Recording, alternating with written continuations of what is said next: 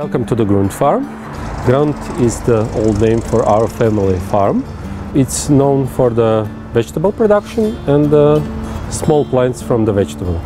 So we produce on 17 hectares vegetables and uh, we produce each year 4 to 5 million small plants of the vegetables.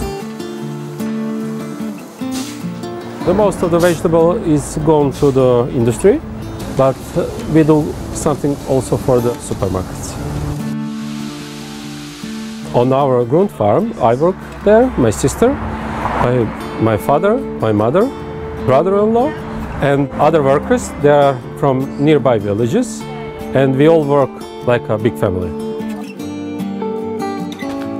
Beside our normal activities on the farm, we provide uh, demonstrations for the growers.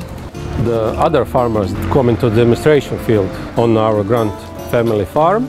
They are also our buyers. They buy our seedlings because they like to more to buy locally. You might wonder why we make our knowledge useful to other farmers because they can be our competitors. We think that it's not true because when we all learn much more from each other, then we can make better quality of the vegetables and we can show quantity and the quality of the Croatian vegetable.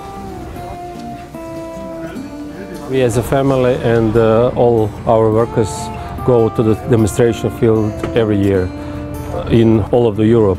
I think it's very important to give knowledge and to receive knowledge it's very important. The best way is to demonstration fields and the demonstration on the farms because you can know exactly what they doing every day.